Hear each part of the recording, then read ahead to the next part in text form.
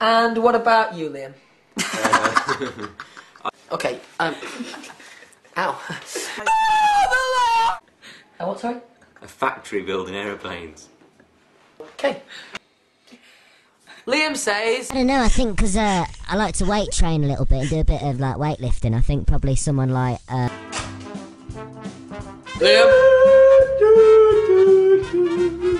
You get a banana round your face. No, Jimmy protested. yeah, it's true. I did not have a passport before One Direction, and it was my cousin from Australia, and he he said that he was watching our interview on on Sunrise. I uh, went out for a meal with my family, and me and the boys had some fun.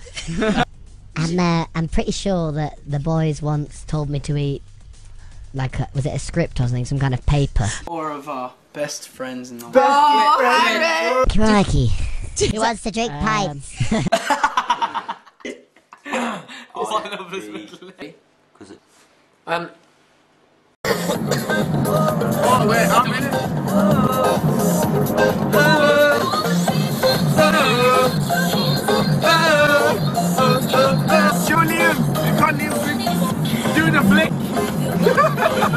yeah.